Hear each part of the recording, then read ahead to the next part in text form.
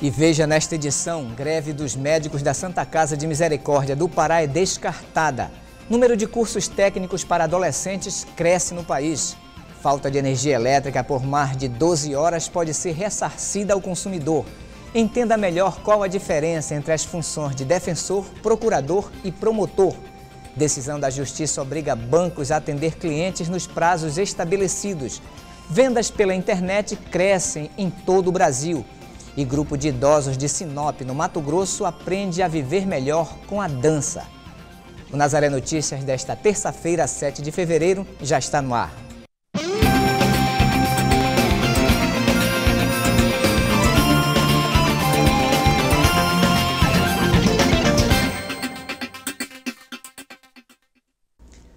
Uma reunião entre o Conselho Regional de Medicina, o Sindicato dos Médicos do Pará e a Secretaria de Saúde do Estado teve como pauta a situação dos neonatologistas que trabalham na Santa Casa de Misericórdia do Pará.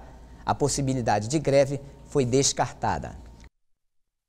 Entre as reivindicações dos médicos está a sobrecarga de trabalho causada pela grande demanda de atendimento na Santa Casa de Misericórdia do Pará. De acordo com a Secretaria de Saúde Pública do Estado, são realizados diariamente no hospital entre 15 a 20 partos. A questão é a demanda e uma questão de relacionamento que tiveram lá uma situação difícil, porque a Santa Casa estava utilizando até novembro médicos residentes, médicos que estão fazendo especialização, estavam cumprindo plantões de médicos já especialistas. E isso aí, porque há uma exigência do Ministério da Educação de que o médico residente não deva tirar plantões, ele não pode ser utilizado como um trabalhador normal. E aí a direção, à época, ela resolveu retirar os médicos residentes da escala de plantão. E isso é, criou um, um, desgaste muito grande na relação com os médicos da, da chamada neonatologia, que é os que, aqueles médicos que cuidam de crianças recém-nascidas. Né? Uma das preocupações dos profissionais da Santa Casa é com a superlotação. Atualmente, cerca de 80% do atendimento é de pacientes da região metropolitana de Belém. Segundo o Sindimepa, a solução para os problemas que envolvem o trabalho dos médicos e o atendimento dos pacientes estão em negociação com a CESPA. É uma continuação de uma reunião que nós tivemos sexta-feira passada entre o Sindicato dos Médicos, a CESPA, a Sociedade Médico-Cirúrgica, o Conselho de Medicina e a Sociedade Paraense de Pediatria. É alguns ajustes, algumas ideias, propostas e exigências também dos médicos da Santa Casa na área da neonatologia que nós estamos procurando cumprir na medida do possível. Né? A realização de concurso público e a formação de um grupo de estudo dos problemas da Fundação foram sugeridas pelos médicos. O sindicato solicitou, e a gente acha absolutamente pertinente, a criação de um conselho gestor, que já teve no passado, mas no governo anterior eles acabaram na Santa Casa. E nós estamos criando no, nas nossas organizações sociais, nas OS que dirigem os hospitais regionais, a gente está colocando conselhos gestores. Então não tem por que não tê-los na Santa Casa também, porque você divide as responsabilidades, não só é, com a direção, mas também com os próprios servidores e a própria comunidade, que vão ter uma, um conhecimento mais de perto das dificuldades, dos problemas e também é, do encaminhamento das soluções. Os trabalhadores dos portos administrados pela União devem entrar em greve a partir das 7 horas desta quarta-feira. A paralisação acontecerá durante 24 horas em todo o país. E caso as reivindicações da categoria não sejam atendidas, a proposta é decretar greve por tempo indeterminado, a partir do próximo dia 23. A greve está sendo organizada pela Federação Nacional dos Portuários e deverá envolver trabalhadores do Pará, Bahia, Rio de Janeiro, Rio Grande do Norte, Espírito Santo e São Paulo. No Pará, a União administra oito portos, incluindo o de Belém. O número de cursos técnicos para adolescentes cresceu. Segundo os especialistas, começar a pensar na profissão logo cedo pode trazer vários benefícios. Mateus, de 17 anos, já perdeu a conta dos cursos profissionalizantes que fez. Já fiz de elétrica de autos, mecânica de autos, serralheria eu terminei agora, agora eu vou fazer de informática e já fiz de estamparia também. É cada vez mais comum encontrar jovens como Mateus, que buscam no ensino profissionalizante uma forma de conhecer o mercado de trabalho.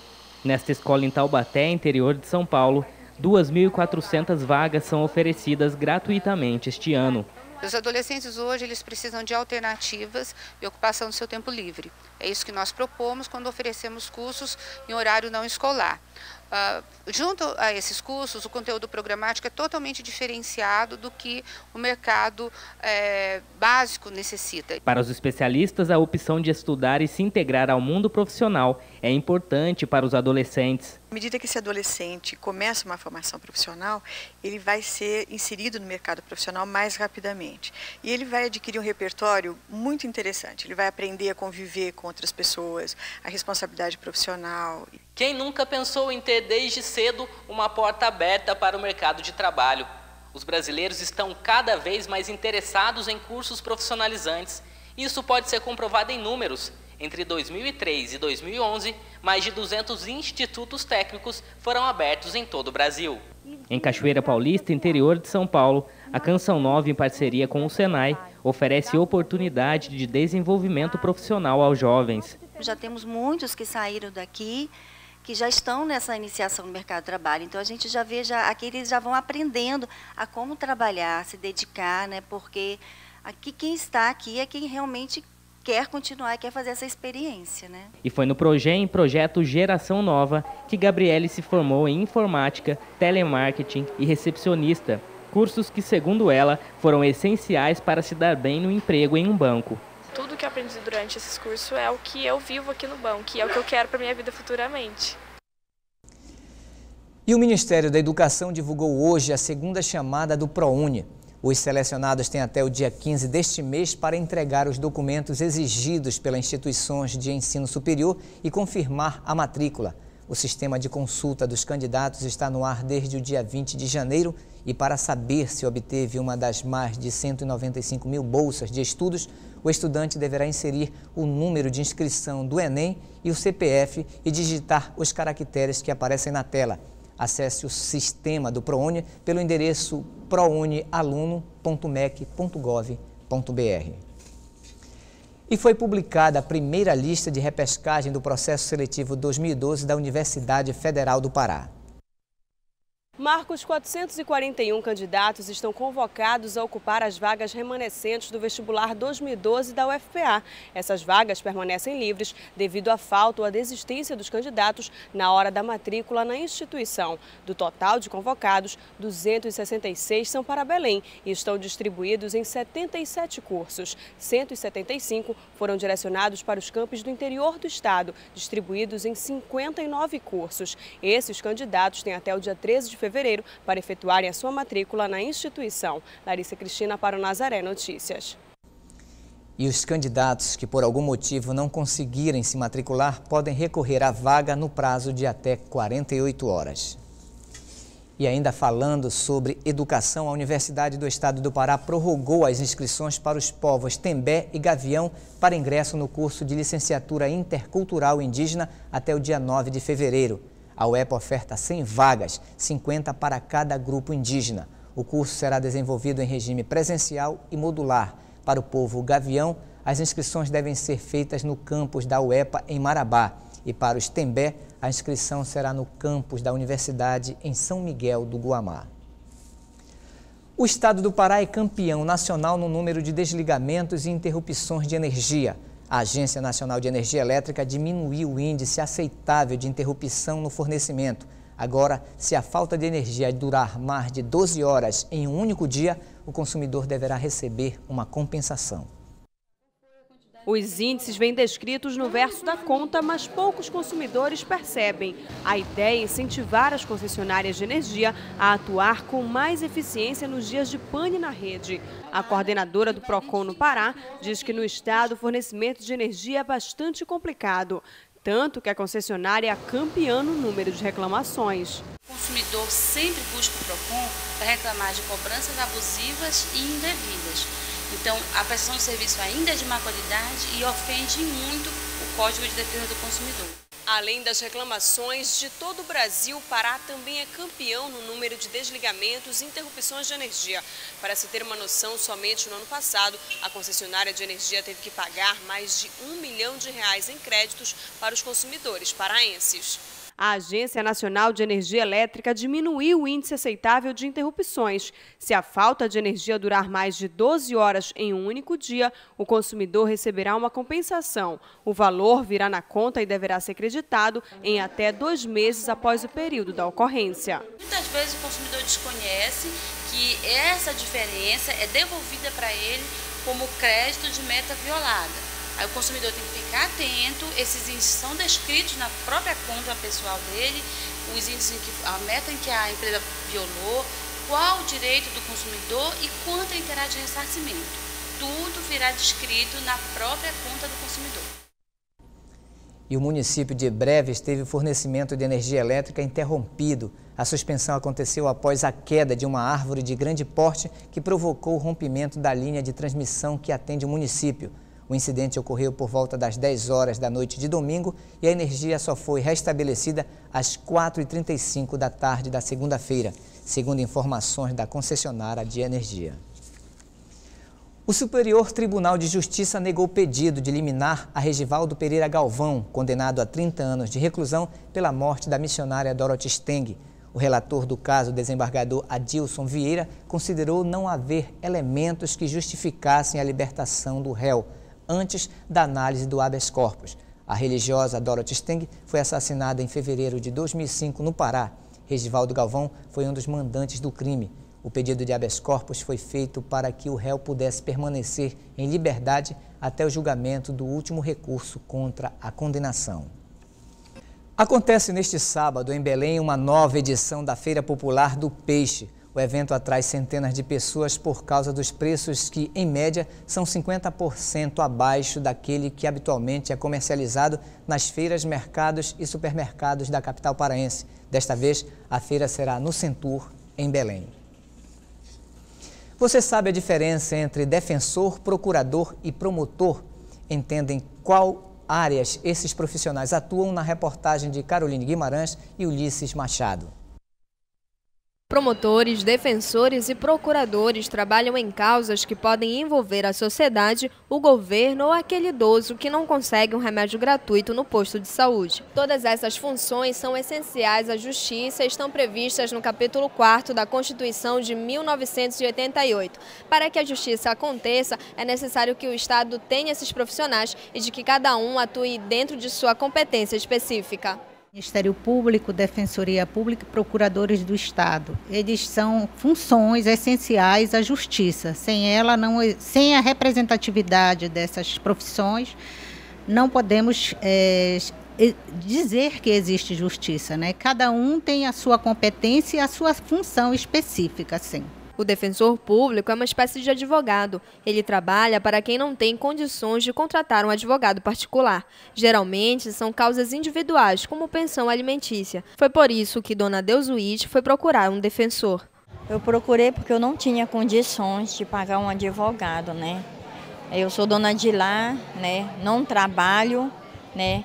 A qual sempre a gente procuramos defensoria porque me indicaram, aí eu vim aqui, eu sou bem recebida. O defensor público, ele atua naqueles casos em que a parte se declara cidadão carente, que não pode pagar um profissional um advogado ou as custas processuais. Então, a Defensoria Pública do Estado, ela existe, dentre elas estão os defensores públicos, para prestar o acesso à justiça a todo cidadão carente, aquelas pessoas que não têm condições de pagar advogados e as custas processuais. O promotor de justiça, por sua vez, trabalha em favor do povo. Ele atua em causas criminais como desvio de dinheiro por parte de políticos e outras que atinjam a sociedade como um todo, direitos do consumidor, meio ambiente, patrimônio cultural e público, entre outros. O promotor de justiça, ele é, atua como fiscal da lei, o que nós chamamos de custos legis. Ele defende os interesses da sociedade e muitas vezes ele atua como parte nos casos em direitos indisponíveis, tais como de, da criança e do adolescente, do, do idoso, enfim. Já quem defende os interesses do governo é o procurador do Estado. Ele pode, por exemplo, ser autor de uma ação de despejo de ocupantes de um prédio público ou contra uma empresa que não paga impostos. O do Estado, ele atua na área do, do, nos interesses da defesa jurídica do Estado O procurador da República trabalha em causas que atinjam todo o país, como falsificação de dinheiro. Os procuradores federais, eles atuam na área da defesa dos interesses do Estado a nível da União, ou seja, em defesa do país. O ministro do Supremo Tribunal Federal, José Antônio Dias Toffoli, liberou para votação no plenário do tribunal de, os processos que vão definir a validade da lei da ficha limpa para as eleições deste ano. A retomada do julgamento depende do presidente do STF, ministro César Peluso. A sessão que tratava da aplicação da lei foi interrompida em dezembro passado por pedidos de vista do ministro Dias Toffoli. Antes da suspensão, os ministros Joaquim Barbosa e Luiz Fux defenderam a constitucionalidade da lei.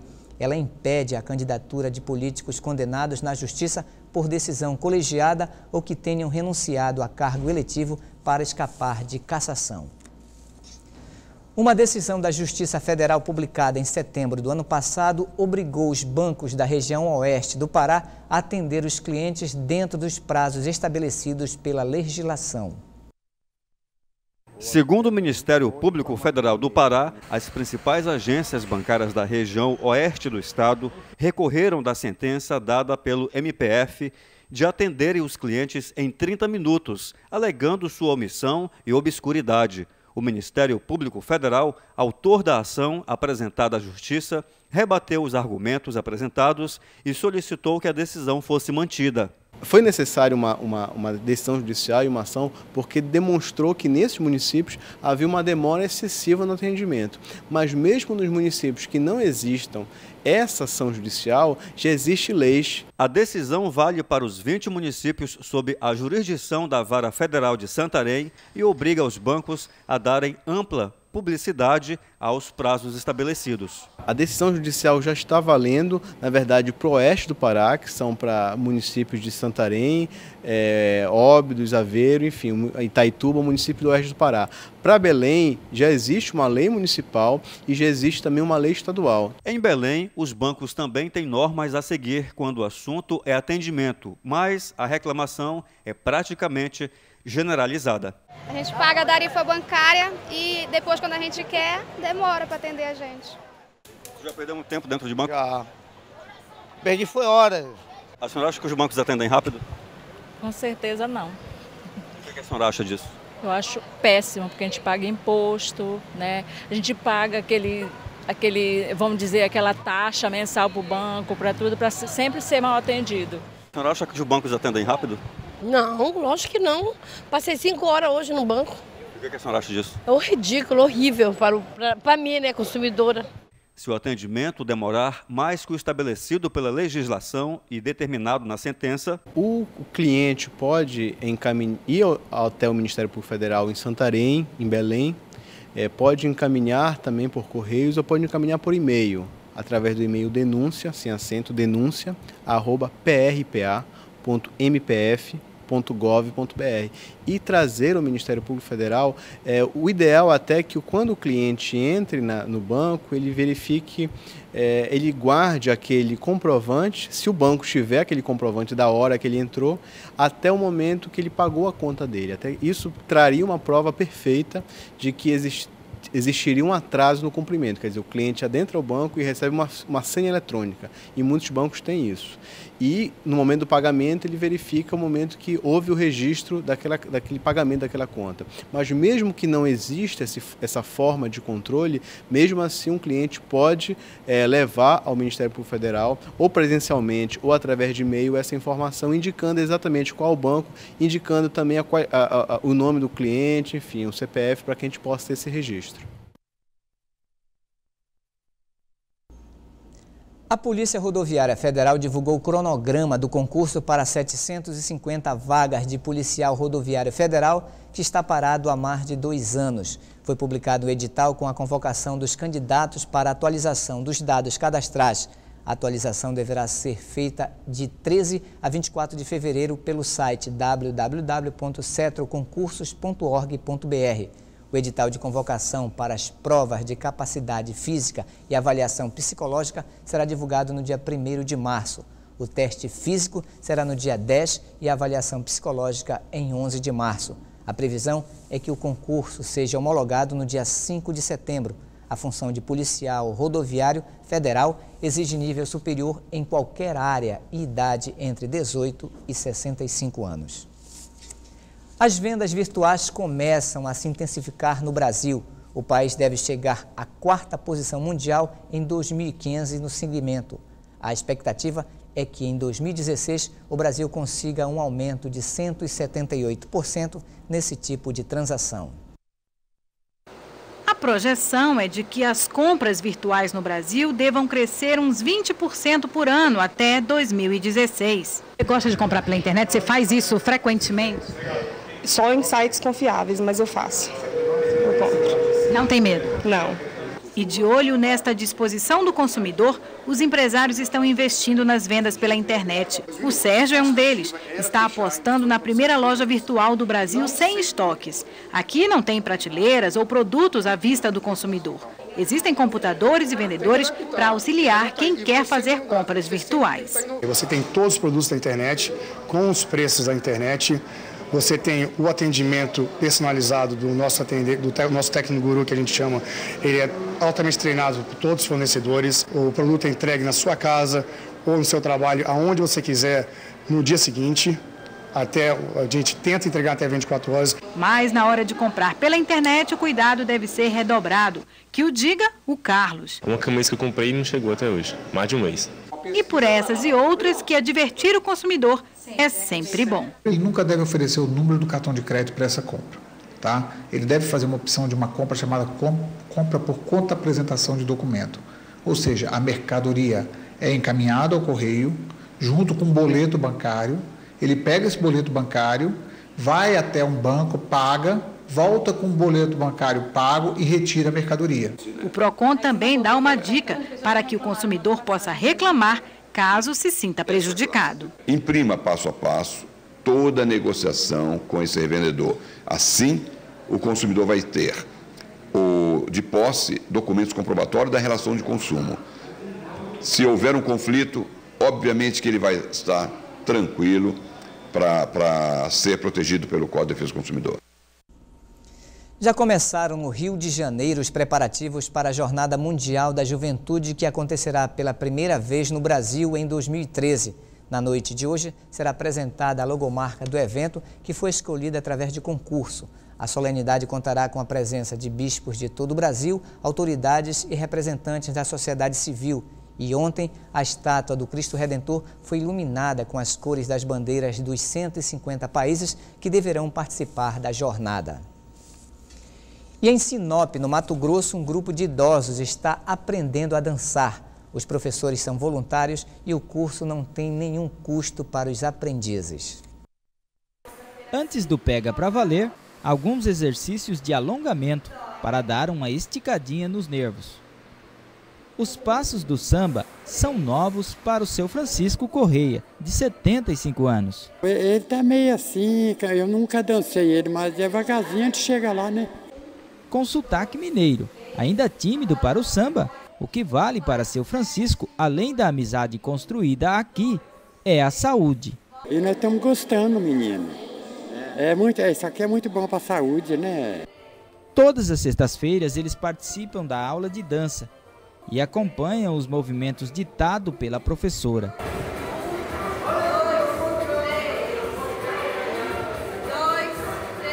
No vai e vem da música, Dona Ivana dos Anjos, que tem 64 anos, se sente relaxada e esquece os possíveis problemas do dia a dia. Eu gosto muito de dançar. é, isso aqui foi muito bom para gente, não só para mim, mas para todos, né? Isso aqui é um relaxamento, você esquece um pouquinho da vida, né?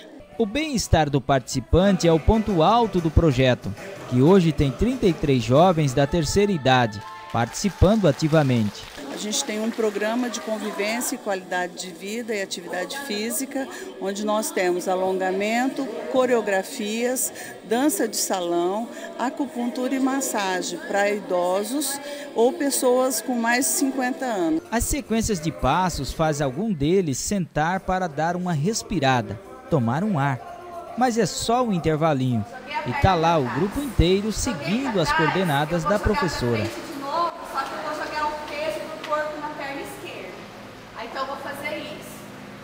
O projeto é da Adestec Obra Padre Pio. Não tem custo e é aberto àqueles que querem participar e têm idade acima de 50 anos. Nós já fomos crianças e jovens, hoje estamos na terceira idade, mas a vida para nós continua. Nazaré Notícias fica por aqui, nos encontraremos amanhã na próxima edição. Até lá.